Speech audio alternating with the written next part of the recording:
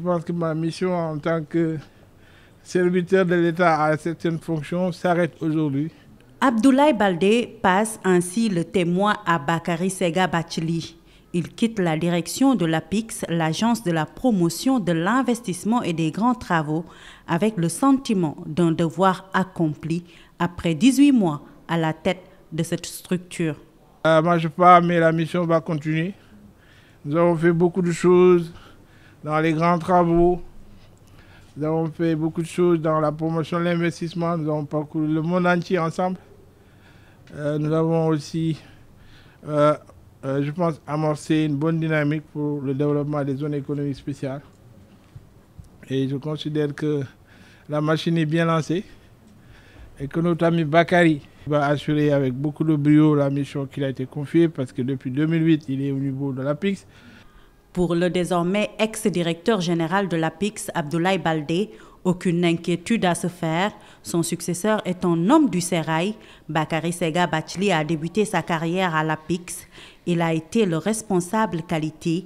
À ce titre, il a accompagné la structure à sa première certification ISO. L'homme n'est donc pas en terrain inconnu. Il est à l'APIX depuis plus de 15 ans.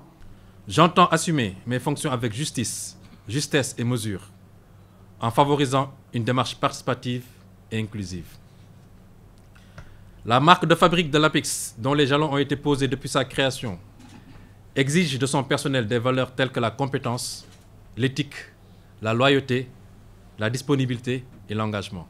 Conscient de l'engagement au service de sa nation donc, le nouveau directeur général veut transformer les défis en opportunités de croissance nationale.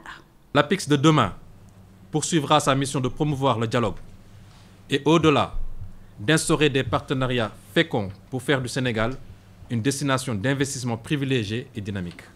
Désormais cinquième directeur général de l'histoire de l'APIX, Bakary Bachli va incarner aujourd'hui l'engagement de l'agence envers le développement durable et l'attraction des investissements internationaux.